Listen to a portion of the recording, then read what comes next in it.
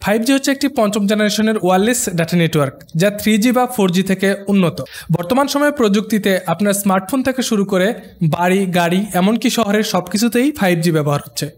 আজকের এই ভিডিওতে আমরা জানব ফাইভ জি এর তিনটি গুরুত্বপূর্ণ বিষয় বা তিনটি সুবিধা। ভিডিওটি শুরু করার পূর্বে একটি অনুরোধ, আপনি যদি আমাদের চ্যানেলে নতুন হন, তাহলে সাবস্ক্রাইব করুন পরবর্তী আপডেট পাওয়ার জন্য। আর যদি অলরেডি সাবস্ক্রাইব করে থাকেন thank you so much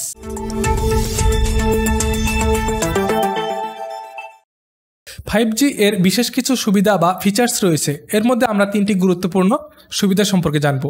higher bandwidth যেখানে ফোর জিতে দুইশো মেগাবাইট পর্যন্ত থ্রোপুট পাওয়া যায়, সেখানে ফাইভ জিতে ছয় হাজার চারশো মেগাবাইট পর্যন্ত থ্রোপুট পাওয়া যাবে।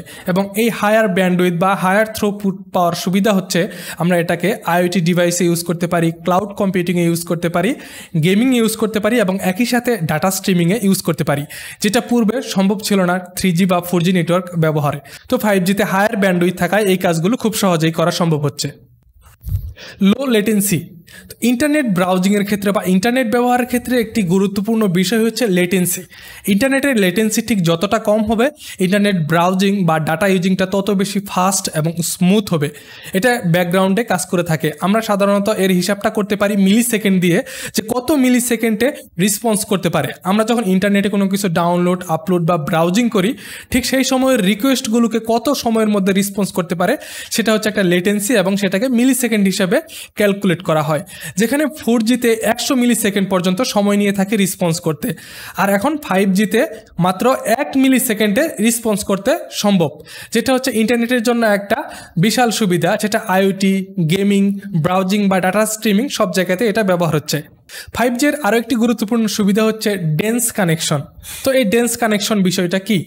যেখানে ফোর ব্যবহার করে আমরা একটা ডিভাইস থেকে আরেকটা ডিভাইসে কমিউনিকেট করতে পারি, কিন্তু সেখানে ফাইভ ব্যবহার করে একই সাথে দশটা ডিভাইসে আমরা কমিউনিকেট করতে পারি।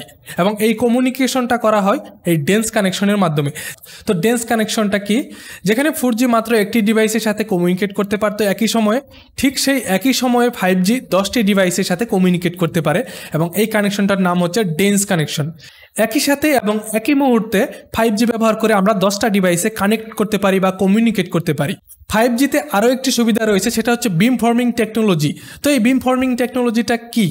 যেখানে ফোর জি বা থ্রি জি একটা নির্দিষ্ট এরিয়ার মধ্যে সিগন্যাল কাভারেজ তৈরি করে, সেখানে five G beam forming technology ব্যবহার করে, সাধারণত আমরা স্মার্টফোন নিয়ে এক জায়গাতেই বসে থাকি না। আমরা সাধারণত স্মার্টফোন নিয়ে ঘোরাফেরা করি বা একটা জায়গা থেকে আরেকটা জায়গাতে মুভ করি। ঠিক সেই সময়টাতে ফাইভ জি যেই দিকে আমাদের মোবাইল বা স্মার্টফোন থাকে, ঠিক সেই দিকেই সিগন্যালটাকে স্ট্রং করে দেয়। যেখানে ফোর জি শুধুমাত্র একটা লিমিটেড এরিয়াতেই সিগন্যাল বা স্ট্রং সিগন্যাল দিতে পারতো।